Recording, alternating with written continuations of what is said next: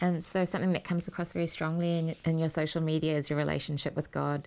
So, what would you like people to understand about that? That, yeah, that it's changed my life, and the reason for um, the reason for who I am and what I've achieved. And if you look at all of the things that um, I guess the successes that people would deem in this world as successes, um, that is all because of my relationship with God and and um, that has changed me and cultivated the mindset that I have. Um, and it allows me the confidence, um, understanding who I am as a child of God has allowed me the confidence to um, go out for and really put myself out there for all of these activities.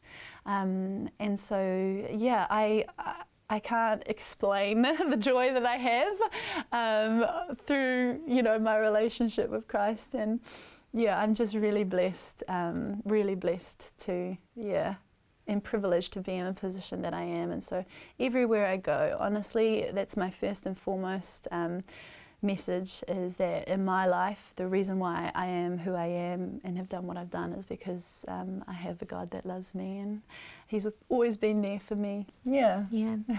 well, He's given you many gifts, and what you do with your gifts is um, your present back to Him. Yeah, so, yeah, yeah that's awesome.